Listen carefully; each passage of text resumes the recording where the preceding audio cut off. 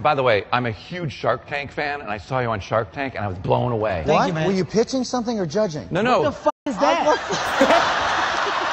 I've not seen the show. I'm a shark. The guest shark. So you weren't pitching like I got an idea? I don't know. No, no, no. Well, I'm. Kevin Hart, bitch. But, I,